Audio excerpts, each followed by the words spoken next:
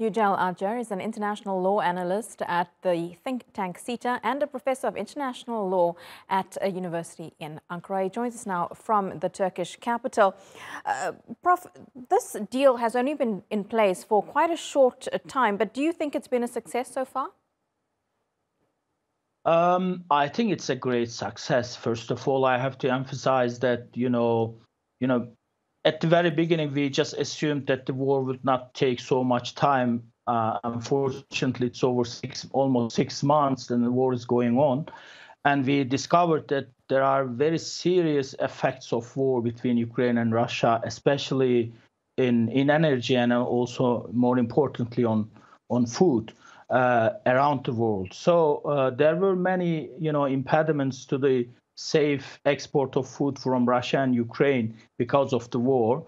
But one of them, actually, the serious one was, uh, uh, you know, the mines and blockade by Russia and Ukraine in Black Sea. So almost over 20 million tons of grain stuck in the ports. So it's uh, actually the only hope for international community to get enough food for reasonable prices around the world. That's why it's quite, quite a significant achievement.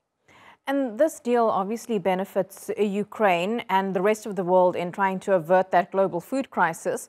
But is it also working because this deal also allows Russia to export its own goods, especially fertilizers, to the rest of the world?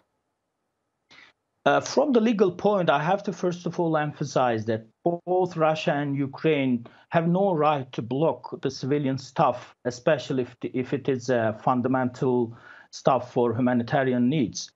But unfortunately, from the very beginning of the war, uh, you know, Black Sea became a very dangerous place for commercial ships. That's why the food export almost stopped completely. Uh, this is the only deal that opens the door for national actually to get uh, you know uh, enough uh, food. Uh, the, at, at, the moment, the worry is about whether this agreement would be implement, implemented effectively by, especially by Russia, because you know Russia has a very strong uh, military presence in the Black Sea.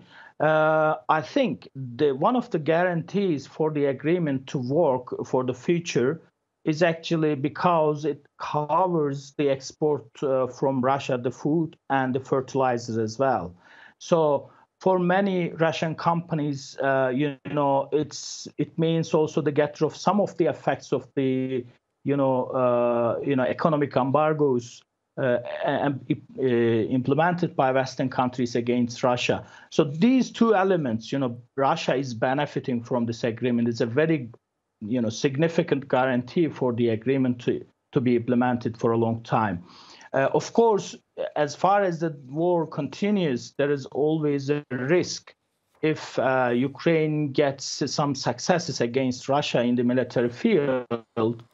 Uh, it's just worrying that maybe this agreement would be in danger again. Uh, and luckily, we have such an agreement bro- brokered by, especially by Turkey, uh, for a for a long time of efforts, maybe more than four months, that it also covers the export from Russia. Yücel Acer live to us there from Ankara. Really appreciate your insight. Thank you so much.